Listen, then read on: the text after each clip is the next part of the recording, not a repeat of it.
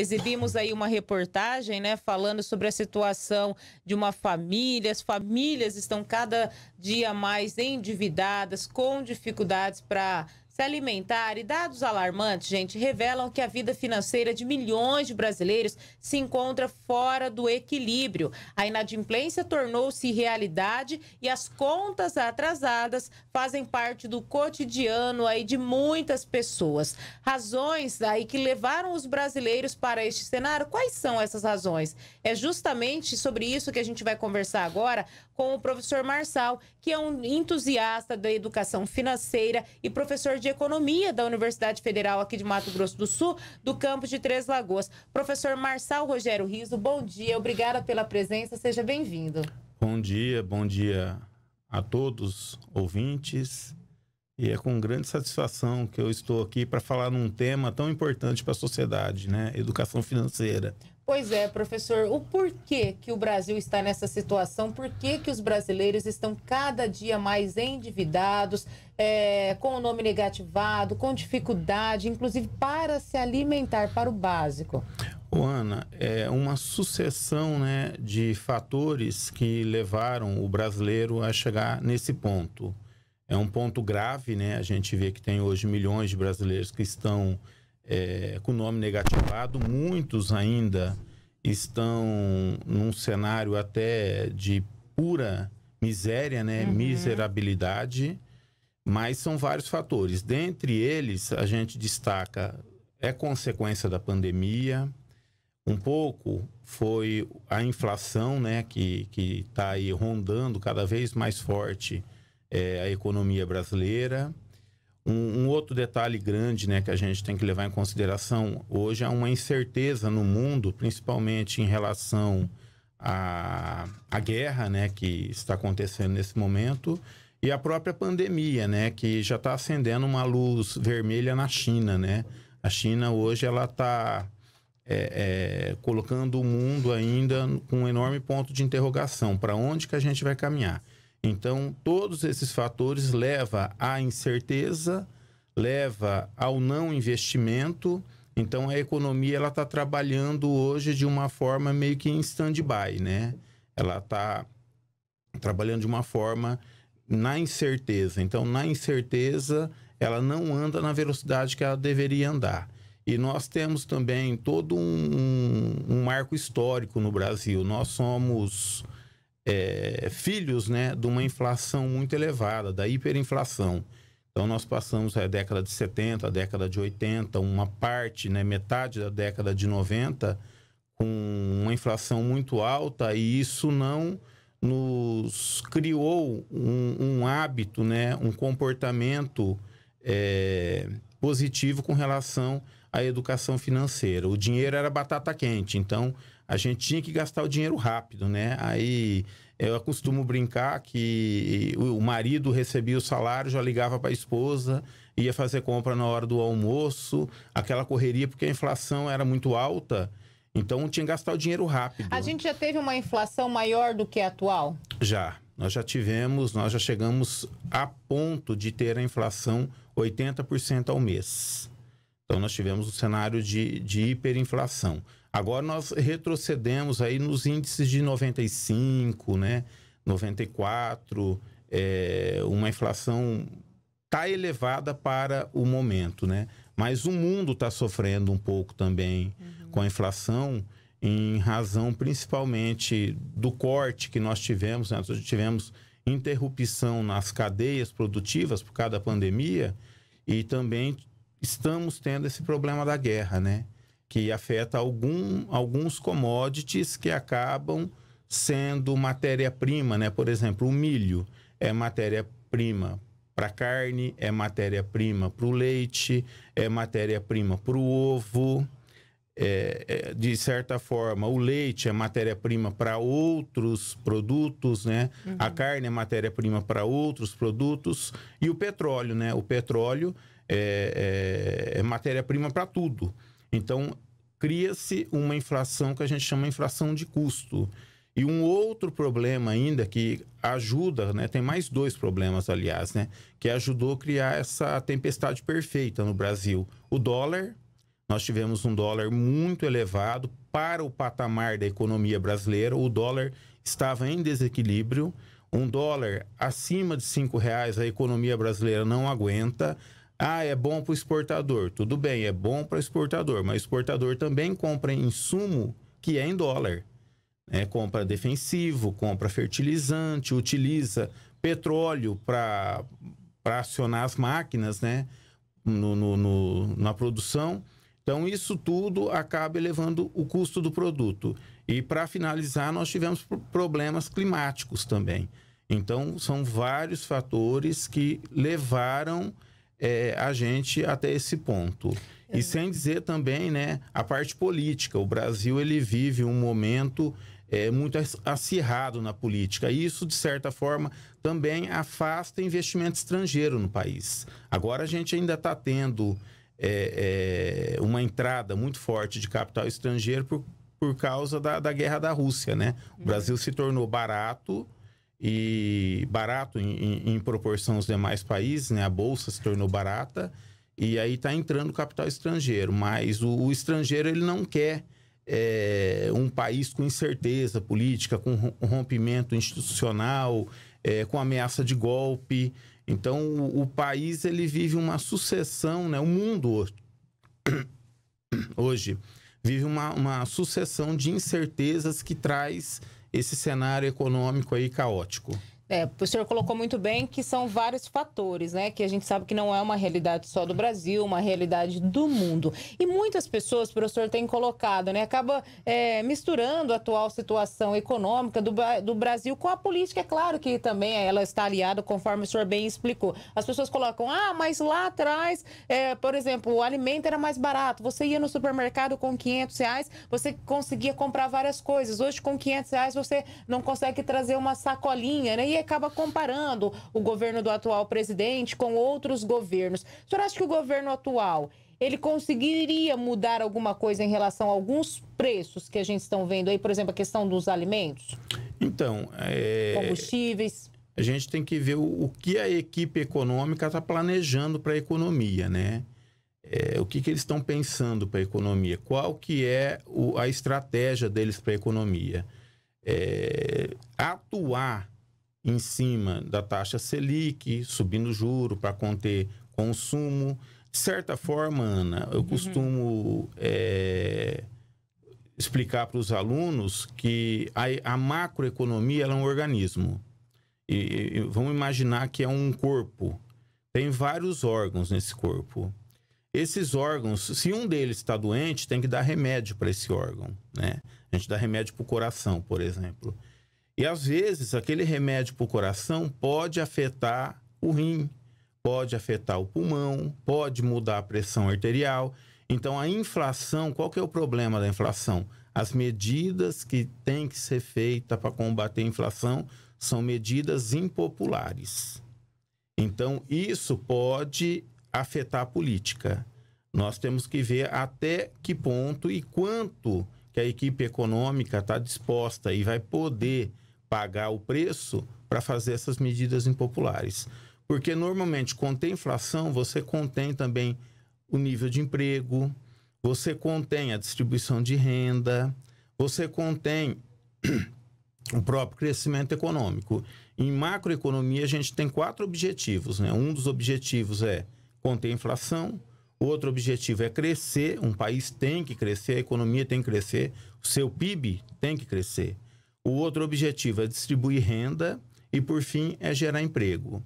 O, o, um exemplo que eu trago foi o governo Fernando Henrique Cardoso. Ele conteve a inflação, ele fez o plano real, um plano muito bem é, planejado para conter a inflação.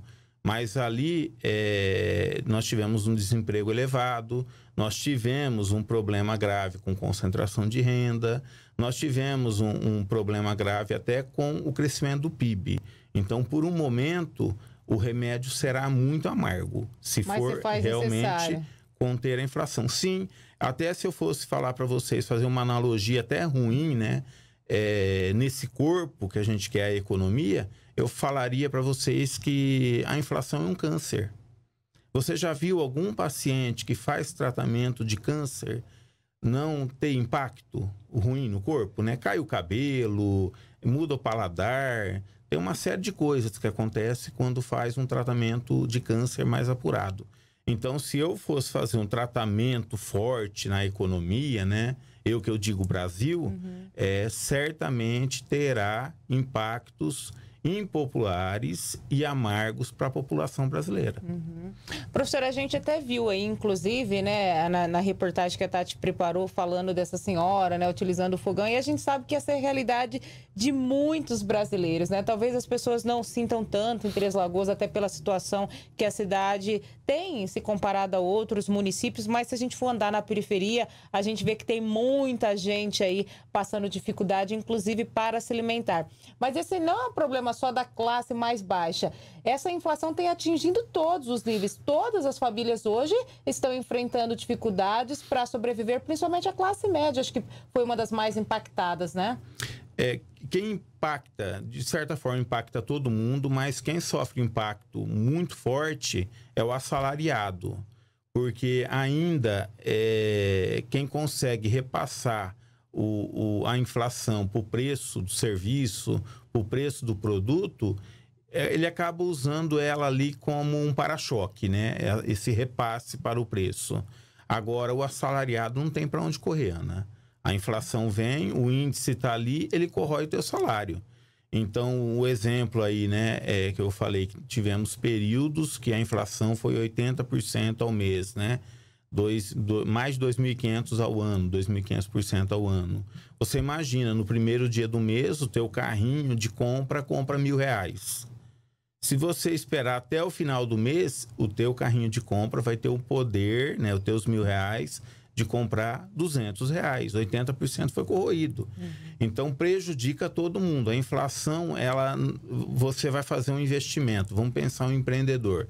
Ele vai fazer um investimento se ele é, tiver no momento de inflação, ele tem certeza se ele vai vender aquele mesmo volume, ele já tem no momento comum.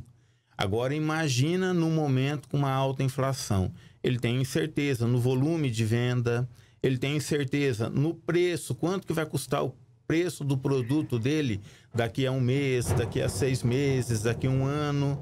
Então é uma, é uma série de, de é, um, é, uma série de fatores que prejudica todo mundo. Não tem quem ganha com a inflação. Ah, o banco ganha, o, o, o, o credor ganha, né? Quem perde é endividado. Não, a economia como um todo perde com a inflação. Por isso que eu fiz a analogia a ser um, um câncer nesse corpo chamado economia. Uhum. É, então ela é ruim para todo mundo. Tem muita gente inadimplente, professor, no, no Brasil? Tem muita gente inadimplente no Brasil, sim. É, os dados são alarmantes, a gente vê. É, muita, em muitos momentos a gente vê pesquisa feita, né, até por órgão sério, ele traz o endividado.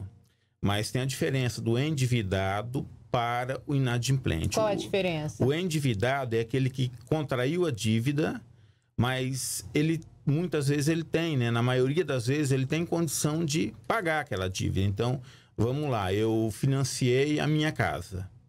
Eu sou um endividado. Eu fiz uma dívida para adquirir a minha casa. Então eu tenho a dívida. Minha dívida é calculada em cima do meu salário, em cima da minha capacidade de pagamento. Então a dívida nem sempre ela é ruim. A dívida ela ajuda a, a adquirir bens, a realizar sonhos, mas agora tem o endividado. O endividado, aliás, desculpa, o inadimplente, que é aquele que adquiriu a dívida e não tem capacidade de pagar, ele já está devendo.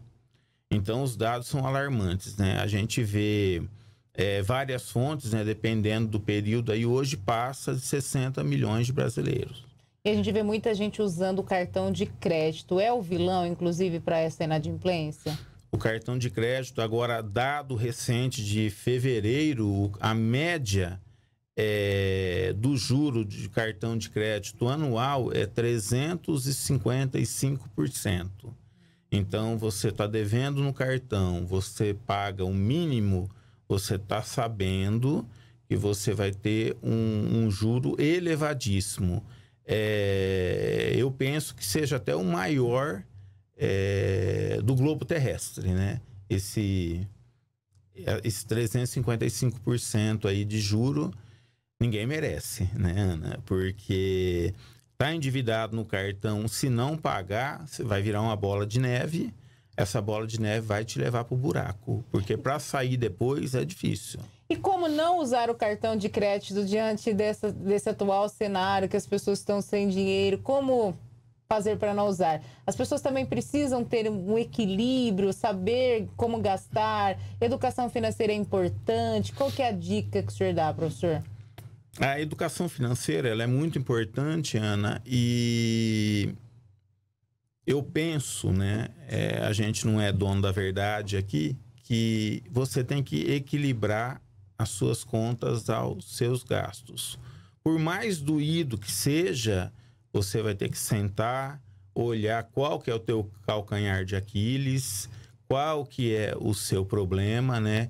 Onde você está errando, fazer um diagnóstico. A melhor coisa que tem, gente, é pegar um pedaço de papel ou mesmo um hoje tem aplicativo no celular. Quem gosta de planilha no computador, é, independente do meio que você for utilizar, você tem que colocar no papel quanto você ganha, quanto você gasta e o que você deve. Dentro de, de, de, dessas contas aí, desses dados, você tem que criar uma rotina nova. Não adianta você é, ganhar mil e querer viver um padrão de vida de dois mil reais. Não tem almoço grátis em economia, alguém vai pagar a conta. Então tem que adequar a sua renda, aliás, o seu, seu padrão de vida à sua renda.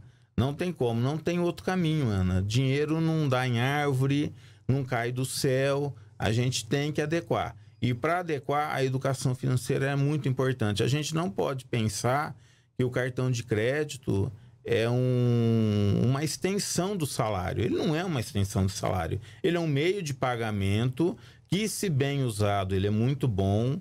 Mas o que, que acontece? As pessoas vai, vão empurrando, né? Essa dívida. Aí divide em 12 vezes. Às vezes, essa divisão em 12 vezes tem juro já embutido ali, né? Às vezes não tem juro embutido que se ela pagasse à vista. E isso aí vai virando uma bola de neve, porque não é, é uma parcela, é mais uma parcela, muitas vezes, na fatura do cartão. Isso aí vai acumulando. Então você está fazendo uma dívida para os próximos 12 meses. Uhum. Agora, se você não tiver capacidade de pagamento, você vai virar um endividado. Virou um endividado do cartão, você está sabendo que você vai pagar mais de 300% de juro ao ano. Isso aí é, é estrondoso, né? Para uma economia. Não tem quem aguenta isso aí. Isso aí vai levar a pessoa para o buraco mesmo. Quando deve ser utilizado o cartão de crédito e qual é a melhor maneira para utilizar? O cartão de crédito pode ser utilizado é, é, para toda compra que você for fazer. O que você não pode extrapolar o valor da sua capacidade de pagamento, Ana. Esse é o detalhe. Não tem uma, uma, uma mágica aí, uma regra falar, não, é, eu vou usar dessa forma. Não, o cartão ele é muito bom, ele facilita, né?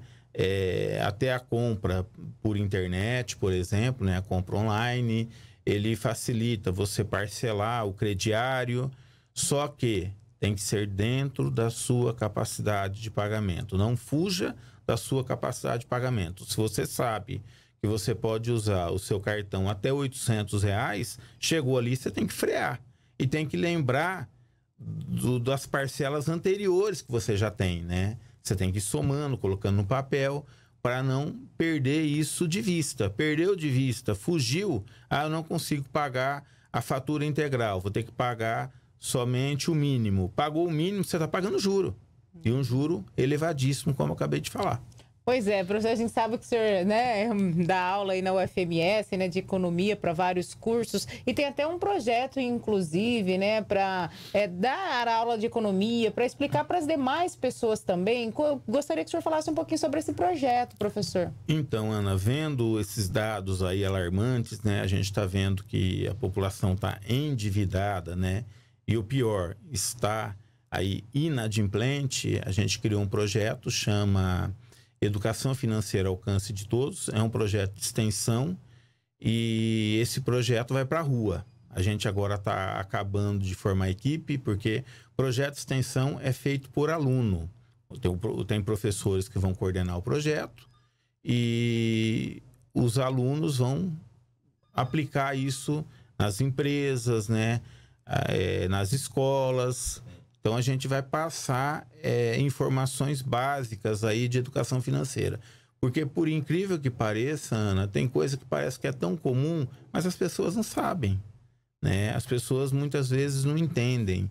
O Brasil ele carece de uma, de uma educação financeira. Se a gente for pegar o ranking mundial de educação financeira, nós estamos na 74, a nossa classificação. Então, de 144 países, nós estamos em 74. É, aí você pega Dinamarca, Suíça, Suécia, eles estão lá sempre na frente, né? Porque o, o nível de educação deles é, é, bem elevado. E a população deles não sofre como a nossa sofre, tanto do endividamento e, e depois, claro, né, do, da inadimplência. Então tem que pensar melhor um pouquinho aí para comprar, tem que não comprar por impulso, é, perguntar se realmente eu preciso. Então é isso que a gente vai fazer. A gente vai aplicar conhecimentos básicos de educação financeira para a população que nunca teve, né? Isso é muito bom, né? Tem previsão para quando começa, professor? Ah, a gente quer começar o mais rápido possível. Estamos formando a equipe agora. É, já tem muito aluno interessado. Eles vão passar por um treinamento rápido, né? E depois a gente já vai entrar em contato com a empresa, as empresas estão entrando em contato com a gente, a gente já vai aplicar isso aí. Escolas também já estão entrando em contato com a gente, a gente já vai para a rua. O mais rápido possível. Que maravilha. Professor Marcelo, a gente quer agradecer pela tua presença. Sempre muito bom falar com o senhor, uma pessoa que tem um conhecimento muito bom de economia. E isso tudo contribui, né, para a formação das pessoas, ajuda de alguma maneira as pessoas entenderem um pouquinho melhor, num linguajar mais simples, né, o atual cenário econômico que o Brasil vive e também é dicas importantes para as pessoas ajudarem as pessoas a enfrentar esse momento aí tão difícil que não está fácil não. Então a gente agradece pela tua presença, viu? Eu que agradeço mais uma vez o espaço, né? A gente está falando de um assunto tão importante. É, é uma área que eu gosto muito, né? De, de falar, educação financeira. E ajuda, né? Que mexe diretamente com a vida das pessoas. Eu acho que o nosso papel enquanto professor é esse, né? Ensinar principalmente o que mexe diretamente com a vida das pessoas. E a parte mais sensível do corpo humano é o bolso, né? Então, nós temos aí que colocar é, a educação financeira na rua mesmo. Tá bom? Com certeza. Obrigado.